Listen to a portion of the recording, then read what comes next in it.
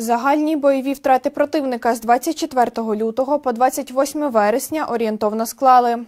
Особового складу близько 58 тисяч 150 осіб ліквідовано, танків 2312, бойових броньованих машин 4889, артилерійських систем 1381 одиниця, РСЗВ 331 одиниця, засобів ППО 175, літаків 262, гелікоптерів 224, автомобільної техніки та автоцистерн 3742 одиниці, кораблів катерів 15, БПЛА оперативно-тактичного рівня 989, крилатих ракет 242, спеціальної техніки 131 одиниця.